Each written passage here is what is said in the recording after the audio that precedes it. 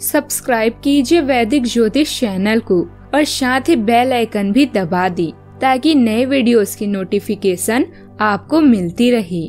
जय संतोषी माँ। दोस्तों, स्वागत है आपका वैदिक ज्योतिष में। जानते हैं आज क्या कहती है आपकी राशियाँ। कैसा रहेगा आपका दिन? शुरुआत करते हैं आज के सुविचार से। इस संसार में कीमती वस्तुओं के होने के बावजूद भी एक व्यक्ति के जीवन में मित्रता एक बहुत मूल्यवान रिश्ता होता है। बुराई बड़ी हो या छोटी, हमेशा विनाश का कारण बनती है, क्योंकि नाव में छेद छोटा हो या बड़ा, नाव को डुबा ही देता है।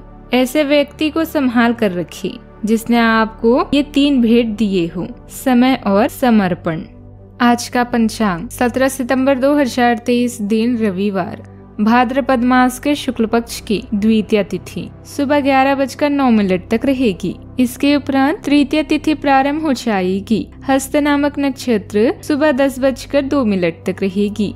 इसके उपरांत चित्र नामक नक्षत्र प्रारंभ हो जाएगी। आज का राहु काल, अर्थात दिन का सबसे अशुभ समय, शाम चार बजकर पैतालीस मिनट से छह बजकर अठारह मिनट तक रहेगा। आज का भी जीत मुहूर्त, अर्थात दिन का सबसे शुभ समय सुबह ग्यारह बजकर उनचास मिनट से, बारह बजकर अड़तीस मिनट तक रहेगा। आज चंद्रमा कन्या राशि पर, रात्रि ग्यारह बजकर सात मिनट तक रहेगी। इसके उपरांत तुला राशि पर संचार करेगी और आज सूर्य सिंह राशि पर, दोपहर एक बजकर चौतीस मिनट तक रहेंगे। इसके उपरांत कन्या राशि में प्रवेश करेंगी। विश्वकर्मा जयंती, कन्या संक्रांति और वाराह जयंती की शुभकामनाएँ। कर्क राशि 17 सितंबर 2023 दिन, रविवार। अपने सब विचारों को एक साथ रखकर सोचें। इससे जो निष्कर्ष निकलेगा उससे आपको स्थिति से निपटने में काफ़ी मदद मिलेगी।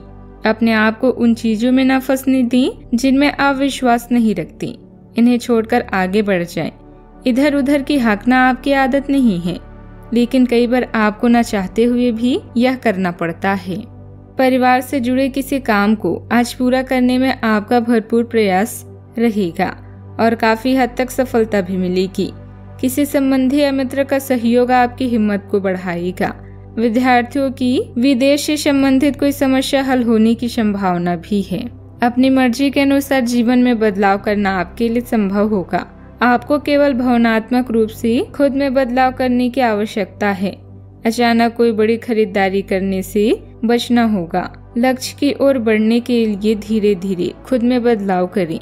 बड़ी ज़िम्मेदारी को स्वीकार करके पछतावा न हो इस बात का खास ध्यान रखना होगा। मार्केट पर ध्यान देने से काम को आगे बढ़ाना संभव होगा। रिलेशनशिप संबंधित जिन बातों में आप खुद को नजरअंदा, रिलेशनशिप संबंधित जिन बातों में आप खुद को नकारात्मक मानते हैं उन्हें बदलने के प्रयत्न करें। पुरानी गति, पुरानी तकलीफ़ को ठीक करने के लिए शरीर को डिटॉक्स करना होगा। सावधानियाँ। आपकी लापरवाही और आलस की वजह से किसी मित्र या संबंधी का नुकसान होने की आशंका है।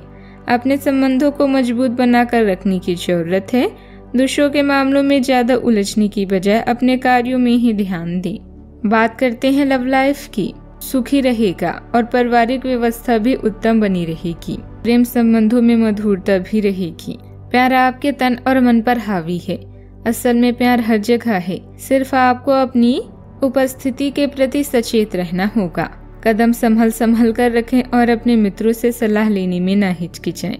आपको बहुत सारे विकल्प नज़र आएँगे। और जल्दबाजी में निवेश करने से बचें। आपका शांत स्वभाव सबको आपकी ओर आकर्षित करता है। आपके चरित्र पर हल्की सी पहेली अपनी ओर आकर्षित करती है। बस आप ऐसे ही रहें। बात करते हैं करियर की। हालाँकि आप ईमानदार और मेहनती हैं। सफलता आपकी पहुँच से दूर रह सकती है।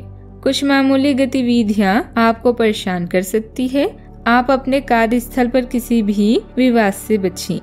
आज के दिन निवेश के लिए उपयुक्त नहीं है। हालाँकि ये दिन अपने दोस्तों के साथ आराम करने के लिए काफ़ी ठीक रहेगा। यदि संभव हो तो आप एक दिन का अवकाश भी ले सकते हैं।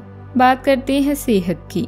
आज ठंड, जुकाम, वायरस संक्रमण और दूसरे तरह के सभी संक्रमणों से सावधानी पूर्वक आप पिछले कुछ समय से प्रदूषित वातावरण में काम कर रहे हैं।